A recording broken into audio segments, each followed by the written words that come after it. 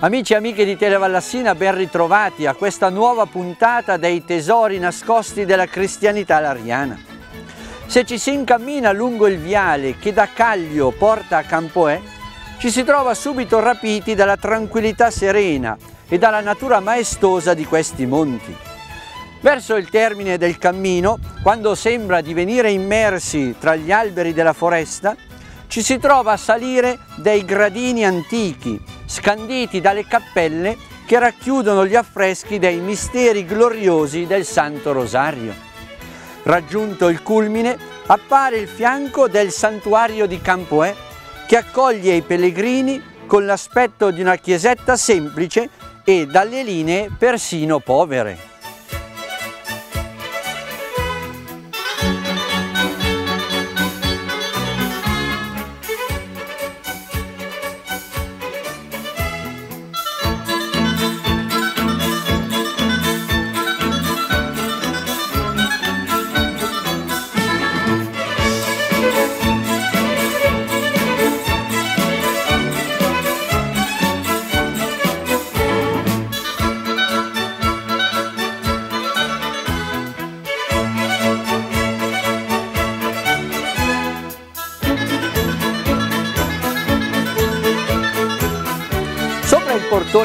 D'ingresso un affresco illustra l'apparizione del luglio del 1626 e avverte che si sta per varcare la soglia di un luogo in cui si adora la Santissima Trinità e si venera la Santissima Madre di Dio.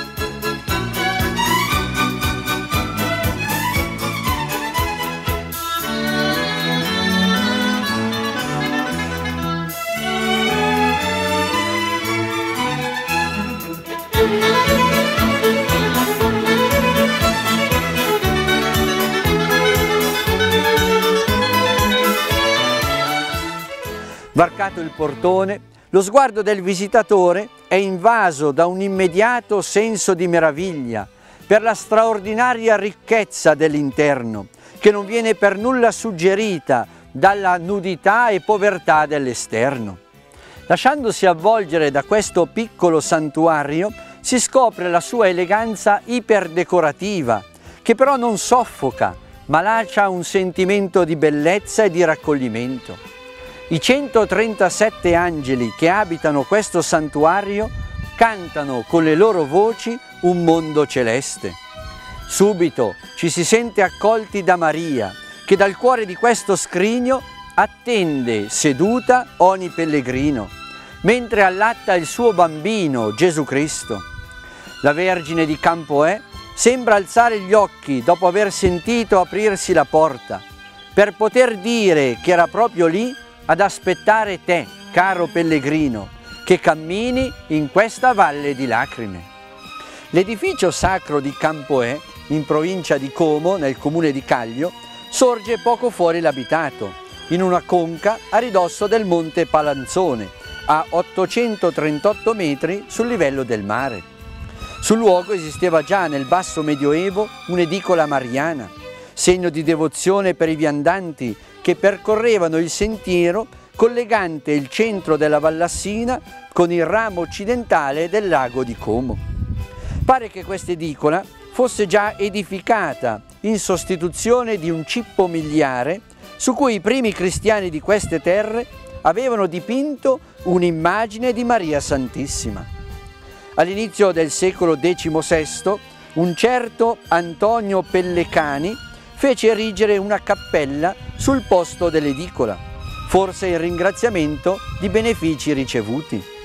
A completamento dell'opera, nel 1508, un valente pittore lombardo dipinse al suo interno quella Madonna del Latte, allietata da due angeli musicanti, che ancora oggi si venera.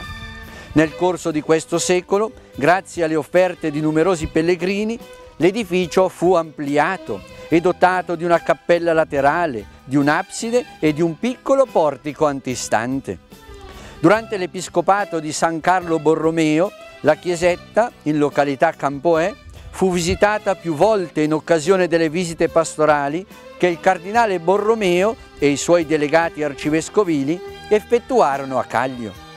Nelle sue ordinazioni, emanate nel 1570, San Carlo Borromeo dimostrò una particolare attenzione verso questa chiesetta, ritenendola degna, anche in seguito alle numerose segnalazioni di prodigi accaduti, di meritare un'indulgenza e la richiesta di ulteriori modifiche ed abbellimenti. L'interno del santuario fu arricchito di pregevoli stucchi, le cappelle laterali si ampliarono nella forma quadrangolare che ancora si conserva. Il portico fu inglobato nella navata e fu costruita la sacrestia. Le copiose offerte portate dai pellegrini, provenienti anche da Milano, venivano gestite dalla scuola del Santissimo Sacramento di Caglio, a cui incombeva anche l'onere della manutenzione della piccola chiesetta campestre.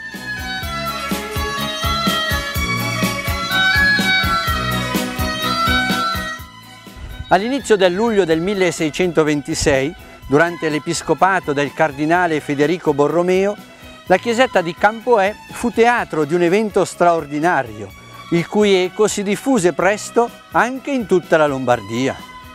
Una ragazza di 16 anni, inferma dalla nascita, mentre un giorno, come al solito, era stata adagiata su di una pietra a custodire alcune pecore sul colle di Pomè, poco lontano dal santuario, fu guarita dalla Madonna. Il primo giugno 2010, guidati dal parroco Don Valentino Viganò e grazie alla collaborazione del gruppo Alpini e di altri volontari, i cagliesi hanno riaperto il sentiero che porta al luogo delle apparizioni, dove è stata posta una croce di legno che potete vedere nelle immagini di repertorio che Televallassina realizzò in quel giorno.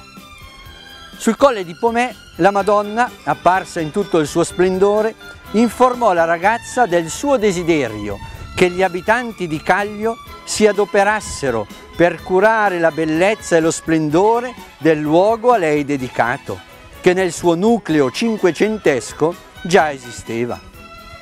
La ragazza subito corse per tre chilometri verso il paese e annunciò a tutti quello che aveva visto e sentito.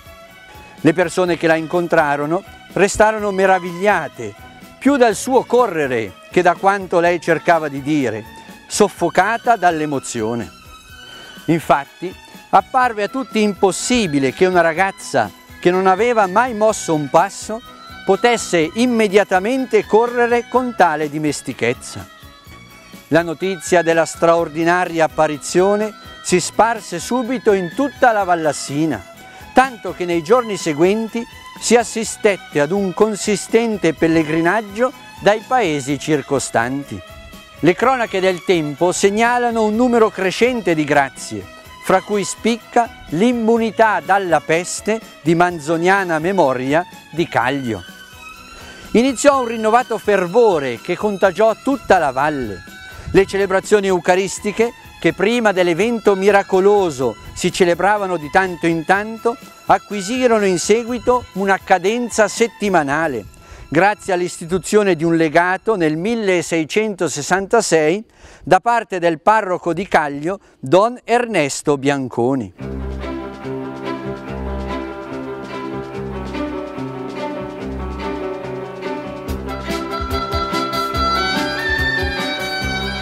Dominus vobiscum.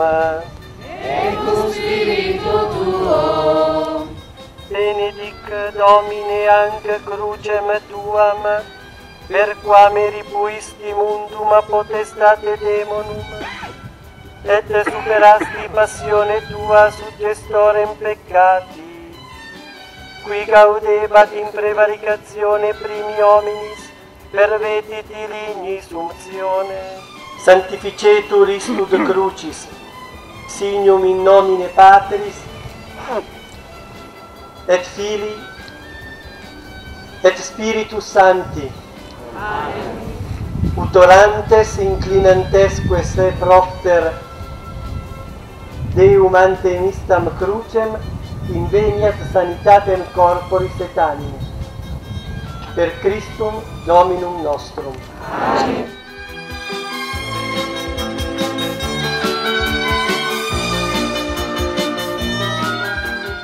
Dopo il 1626 e nei primi decenni del Settecento, la chiesetta di Campoè subì ulteriori interventi architettonici ed artistici che ne migliorarono l'estetica e ne ampliarono la struttura.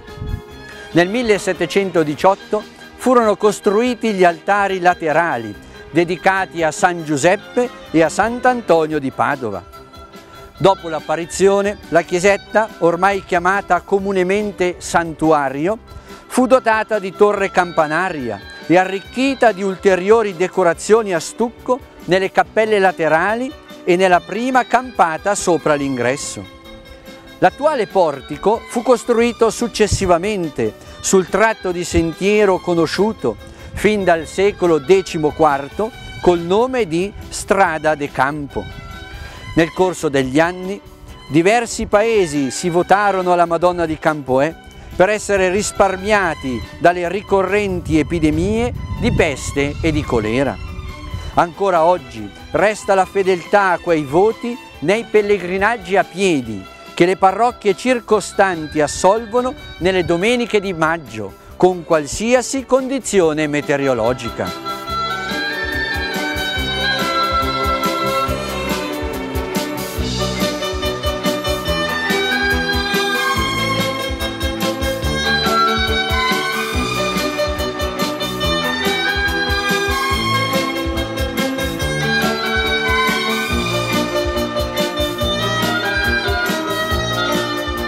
Ultimamente il santuario ha subito un capillare lavoro di restauro ad opera di Giacomo Luzzana, che ha permesso di recuperare l'originaria bellezza degli stucchi, degli affreschi e del dipinto della Madonna venerato sopra l'altare maggiore.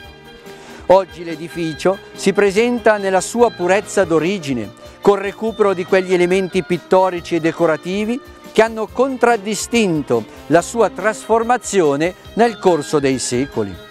Durante il periodo estivo, dato il grande numero di fedeli, le liturgie si svolgono all'aperto, su di un altare appositamente costruito ed incorniciato dallo splendore naturale e dal raccoglimento che avvolgono il santuario a Campoè. Nel 2015 ad opera del parroco Don Valentino Viganò sono stati costruiti i servizi igienici esterni per tutti i pellegrini.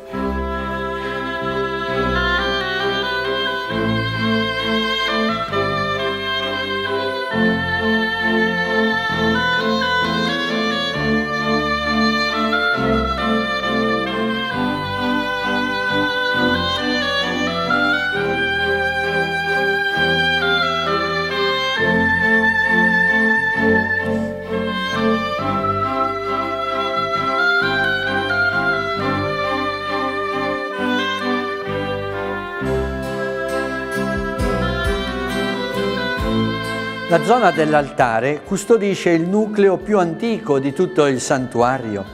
Lo si capisce anche solo osservando le mezze lune ai fianchi dell'altare, dove ci sono residui di antichi affreschi picchiettati che ritraggono a destra l'arcangelo San Gabriele annunciante ad una Madonna totalmente perduta. Dall'altro lato della finestra una santa queste pitture paiono della scuola del Luini. Del Cinquecento non resta altro se non la rozza decorazione a finto marmo delle pareti.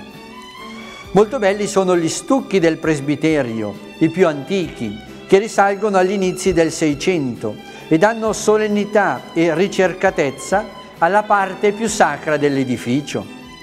Si può osservare l'intreccio di fiori e foglie assieme a frutti e teste d'angelo, quasi a non voler lasciare nessuno spazio senza decoro. Gli affreschi dell'Annunciazione degli angeli musici e cantori sono opera del Rivetta. Se si guarda con attenzione sul cornicione accanto alla porticina della sacrestia, si può leggere una traduzione seicentesca dell'Ave Maria che allora si recitava solo in latino. Dio ti salvi Maria piena di grazia, il Signore è teco. Sulla mensa dell'altare è scolpita una scritta latina. è la locuzione interiore sentita da San José Maria Escrivà il 23 agosto 1971, mentre era villeggiante a Caglio e pellegrino a Campoè, e che interessò la preghiera di tutto l'Opus Dei per il riconoscimento giuridico della prelatura. Significa andiamo con fiducia al trono della gloria per ottenere misericordia ed è ispirata alla lettera agli ebrei. Lo si può sentire come un dolce invito ad accostarsi a Maria che è madre della misericordia. L'interno del santuario porta il pellegrino a cercare l'immagine di Maria posta sopra l'altare maggiore. Lei è la signora di questa casa che è dedicata al culto divino. Il dipinto della Madre di Dio che allatta Gesù tra due angeli musicanti fu fatto affrescare nel 1508 da un certo Andrea Pellecani, secondo quanto riporta la rovinata iscrizione sull'arco della pittura.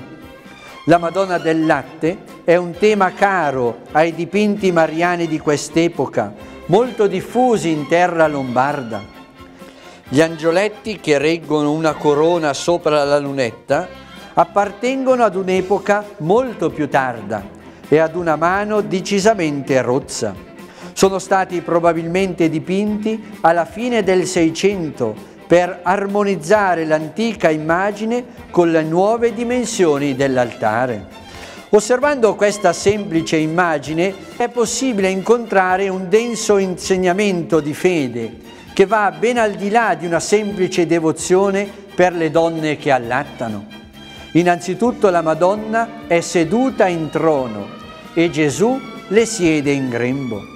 Questo vuole ricordare la nostra fede in Cristo, Re dell'universo, perché suo creatore. In realtà non è principalmente Maria ad occupare il trono regale, ma è Gesù ad essere assiso su tre troni. Il luogo santo in cui questa immagine è posta, quello di pietra e quello che è la sua stessa Santissima Madre. Un modo per esprimere la signoria universale del Signore Gesù Cristo. Si può notare che Gesù è completamente nudo ed anche il seno della Vergine Maria è nudo. In queste nudità viene insegnata la perfetta umanità del Figlio di Dio. Gesù ha un vero corpo, totalmente uguale a quello dei nostri bambini e si nutre ad un vero seno da cui succhia del vero latte materno. Gesù è pienamente Dio, ma ha assunto pienamente anche la nostra umanità per salvarla.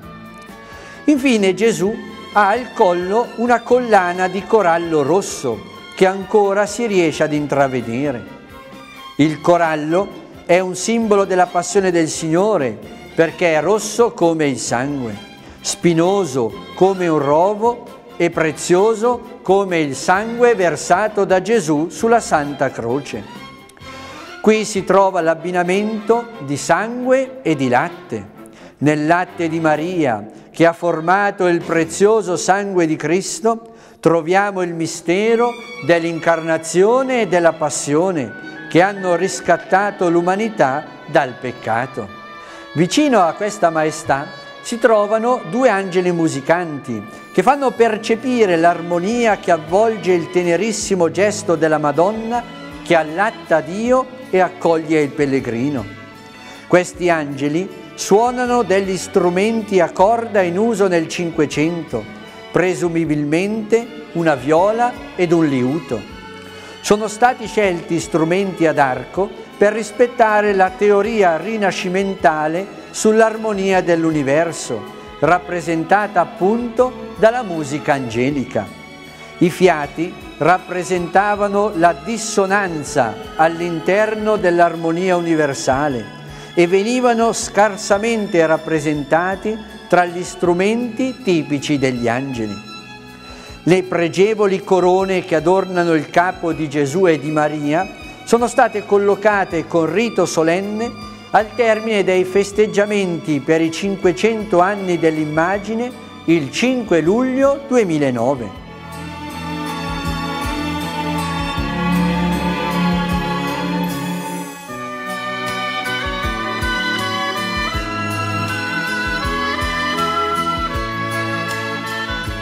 In sacrestia si può trovare lo strappo di un affresco di inizio Ottocento che coprì sino a metà del 1900 l'immagine originale posta alle mie spalle.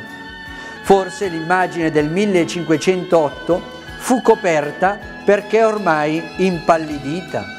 Forse per nascondere la nudità del seno della Vergine Maria, ritenuto imbarazzante per la cultura dell'Ottocento.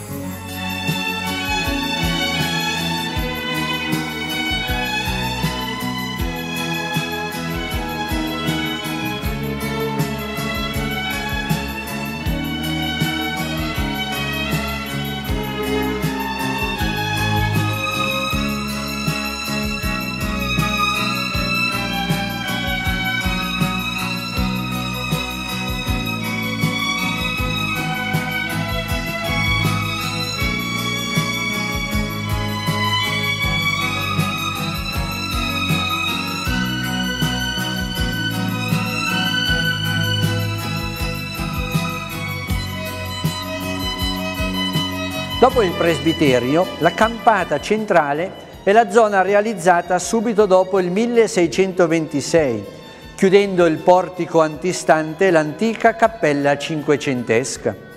I meravigliosi stucchi su fondo azzurro celeste sono stati realizzati da abilissimi stuccatori ticinesi, la cui tradizione e maestria raggiunge l'apice proprio nel 600 e 700. Se si guardano gli stucchi in alto rilievo, si può notare elementi classicheggianti, come canestre di frutta ed angeli che intendono reggere tutta la decorazione. Alla base dei costoloni si riconoscono le virtù cardinali, la prudenza che si guarda in uno specchio, la temperanza che mescola l'acqua al vino, la fortezza rivestita di una possente armatura, e la giustizia che regge una bilancia a due piatti.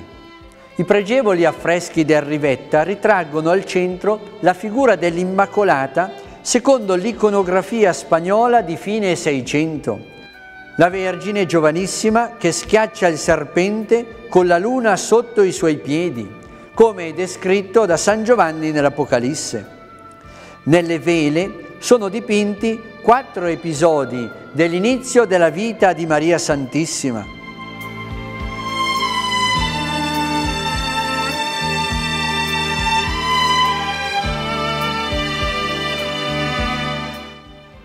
La Natività della Madonna dai santi Gioacchino ed Anna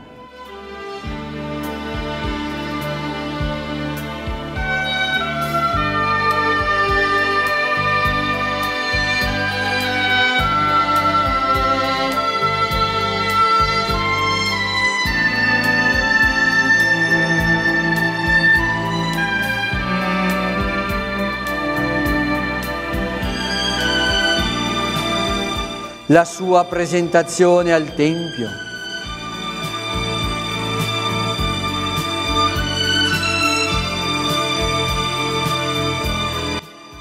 Lo sposalizio con Giuseppe, l'uomo giusto,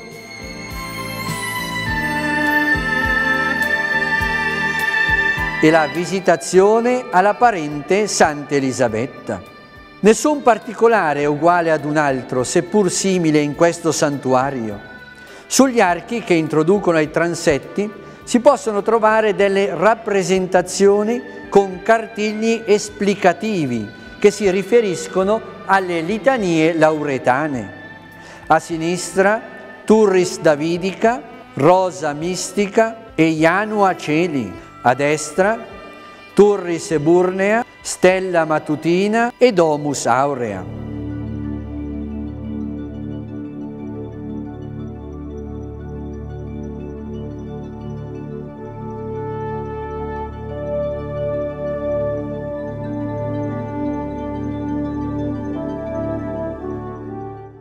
Assieme ai pregevoli stucchi, le vele dell'ingresso riportano ai quattro lati i ritratti dei quattro evangelisti dipinti mentre tengono tra le mani i libri dei Vangeli da loro scritti per ispirazione divina. San Luca,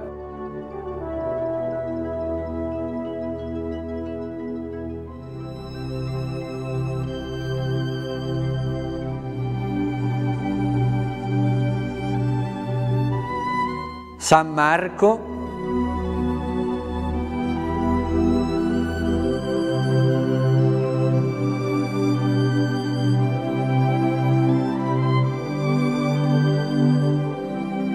San Matteo,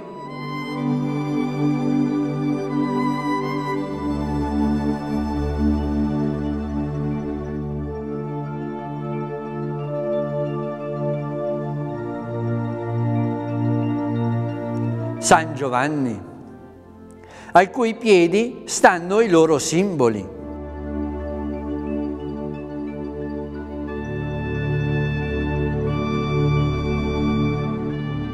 Gli affreschi del Rivetta consacrano questa campata alla vita di Maria dopo la nascita di Gesù Cristo. Al centro della volta sta l'Assunzione della Vergine Maria, ripresa da un dipinto di Tiziano conservato in Santa Maria dei Frari a Venezia. E poi nei quattro spicchi si riconoscono la Natività di Gesù a Betlemme,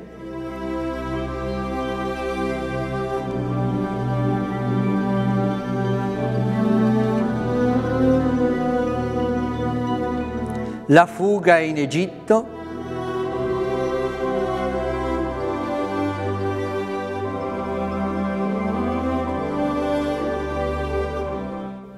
l'apparizione di Gesù risorto a sua madre,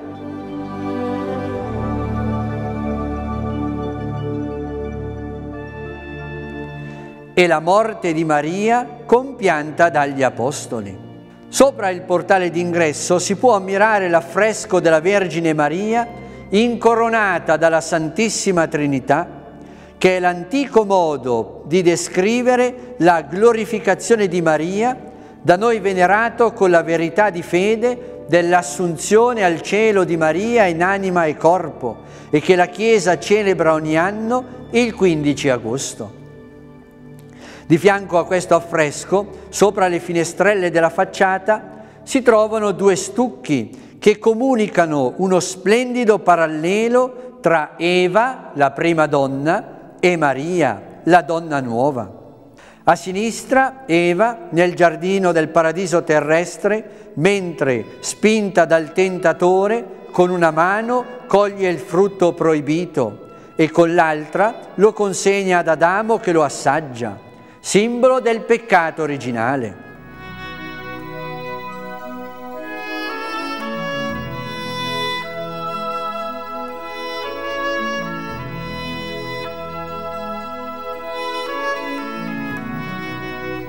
A destra si trova l'immagine della Madonna di Campoè all'interno di un giardino. Bellissimo il parallelo che comunica una verità di fede fondamentale. Come Eva in un giardino ha nutrito con il frutto proibito Adamo, il primo uomo, da cui entrò nel mondo il peccato, così Maria, in un giardino più bello, nutre con il suo latte il nuovo Adamo, Gesù, che salva il mondo dal peccato. E a rendere ancora più esplicita questa verità si leggono le parole scritte a spiegazione.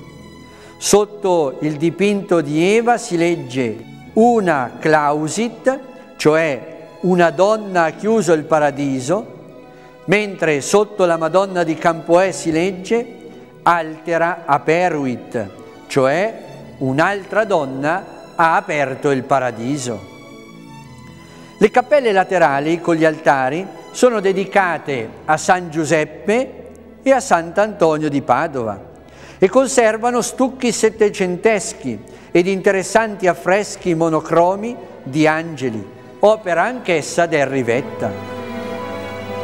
Gli angeli dipinti in bianco e nero reggono sempre un giglio, sia nel transetto di San Giuseppe che in quello di Sant'Antonio. Il giglio è uno degli attributi iconografici di questi due santi.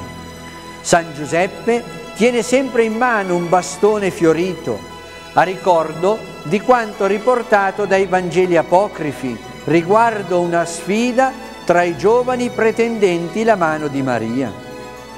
Sant'Antonio di Padova tiene un giglio a significare la sua purezza ed il profumo di giglio che si diffuse al momento della sua morte. Un'ultima nota.